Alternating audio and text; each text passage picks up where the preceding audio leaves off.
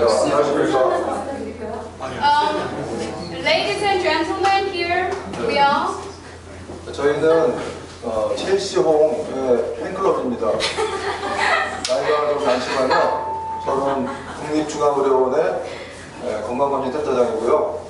Um, they uh, 앤 they describe themselves as a fan club for Kelsey Hong, um, which I'm not really sure. Um, and um, they are actually um, working at they are doctors in hospital, National Korean Hospital around here. 에, 첼시홍의 작품이 너무 비싸기 때문에 저희가 작품을 사지 못하고 몸으로 때우려고 왔습니다.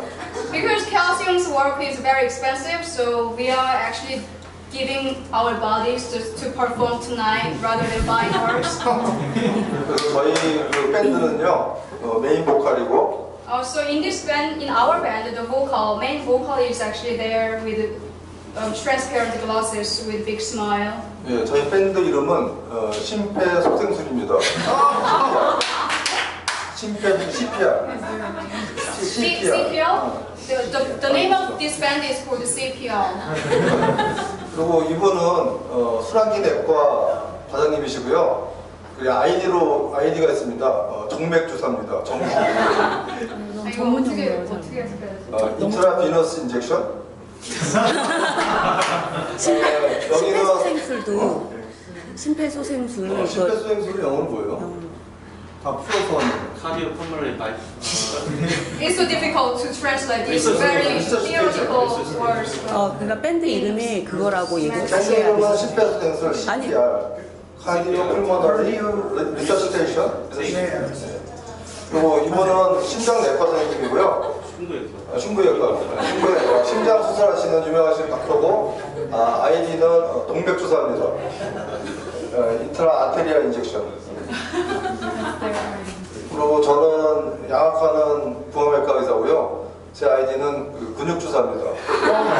Intramuscular injection이고요. 오늘 그 준비한 곡은 그냥 저희 멤 보컬께서 심장외과, 흉부외과 선생님이신데 심장이 터진다 이 제목 이런 제목의 노래를 좋아하시는데 여기 안 맞으시니까 오늘은 들국화의 그것만이 내 세상 준비했습니다.